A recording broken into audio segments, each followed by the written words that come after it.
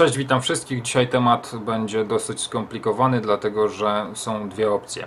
Albo Polska jest państwem wolnym, albo Polska nie jest państwem wolnym, prawda?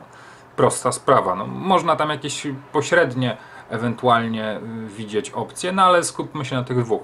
Y, Pierwsza opcja, że Polska jest państwem wolnym, no to opcja dobrze znana. Media nas o tym informują, czy to będzie mm, polska telewizja, czy jakaś inna telewizja prywatna.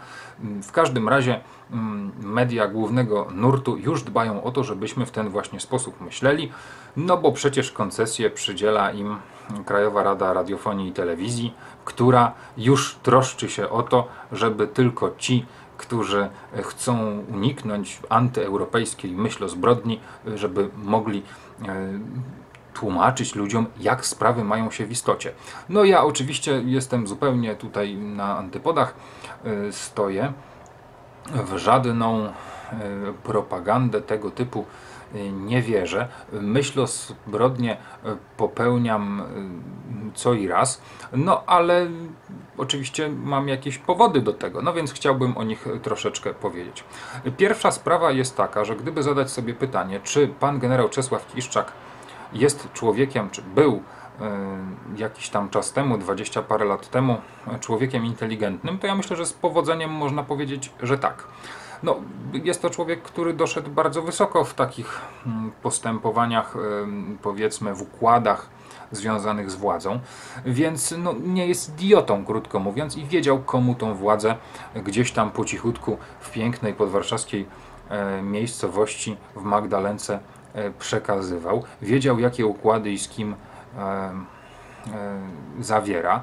Generalnie zasada jest taka, że wy nie ruszacie naszych, my nie ruszamy waszych i, i tyle, prawda?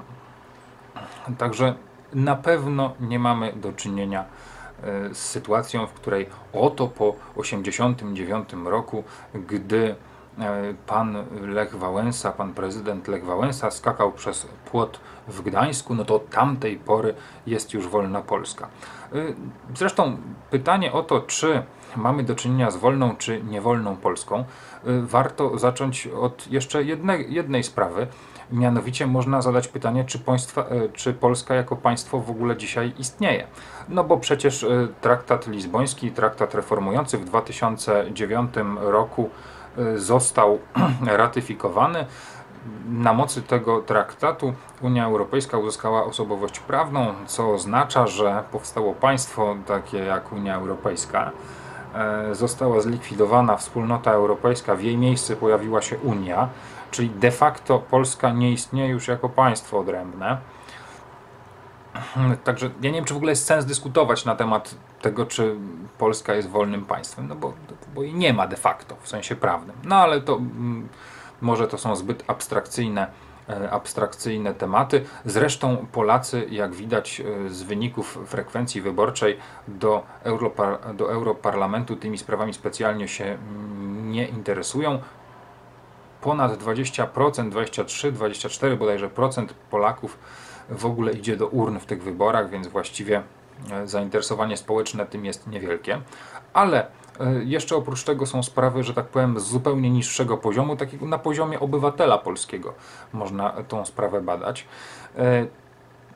Ktoś mi powiedział w komentarzach, że gdyby Polska nie była wolnym państwem, a byłby to reżim, y, no to y, tam gdzieś tych krzyczących y, 1 sierpnia by spakowano y, na policję, prawda, w suki, y, gdzieś tam i do więzienia by ich wywieziono na ileś godzin i tak dalej, i tak dalej, że to byłaby dopiero to byłaby dopiero straszna represja. Ja myślę sobie tak, że to są metody prymitywne, dosyć nieskuteczne. Niezbyt eleganckie. Dzisiaj już są lepsze. No na przykład wspomniana przeze mnie telewizja, która mówi nam o tym, jak to wspaniale e, jak to wspaniale się dzieje, jest super, że no jest super, super, więc właściwie o co Ci chodzi? Mamy ekstra rząd i super prezydenta. Muniek Staszczyk powinien być speakerem tam naprawdę w tej, w tej to, czy przynajmniej jego piosenkę powinno się śpiewać w tej telewizji, byłoby wtedy weselej. Jeszcze weselej, bo na razie jest bardzo wesoło, ale może być jeszcze weselej. E, Natomiast pytanie jest takie, jak to jest z mediami, które wymsknęły się spod kontroli, które jakoś akta y, miało pomóc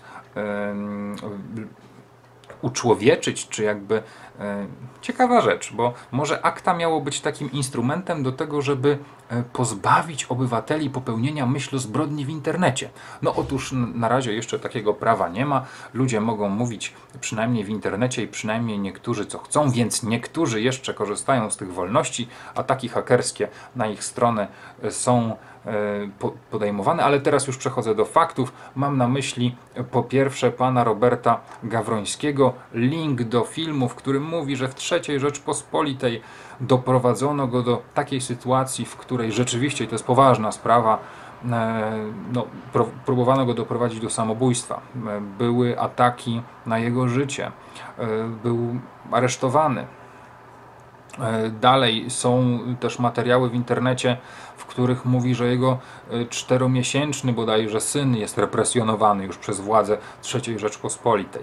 E, poza tym pan e, Robert Teodor Kudła, człowiek, który był speakerem w Radiu Solidarność, człowiek, który po pierwsze jest, osiągnął już dawno wiek emerytalny i ma drugą grupę inwalidzką, a mimo to ze strony państwa nie doznaje żadnych świadczeń, którego za niepokorny, y, niepokorną postawę i za y, wypowiadanie własnych poglądów politycznych próbowano osadzić w zakładzie psychiatrycznym. Link do filmu z panem Robertem podaje.